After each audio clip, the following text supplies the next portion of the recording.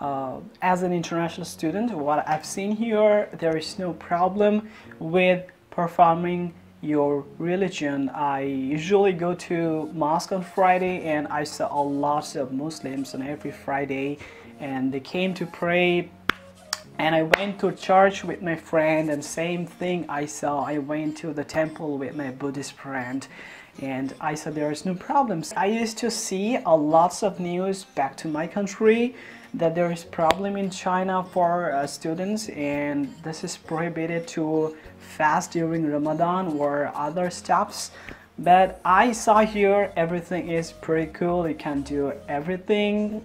You can perform your religion there is no problem with it here you can go to mosque church temple to perform your religion so I, I'd say, although it's very early for me to comment because it's just only my four and a half months here in China, but I'd say on an average, this is pretty cool here. People are very friendly, there is no problem. And yeah, that's it. I'd say those news that I used to see, those all are, those all are fake and those were yellow journalism. Yeah, that's it about today. There is religious freedom for international student there is no problem. That is my comment, my personal opinion. You can write down below what's your opinion about China. Let me know.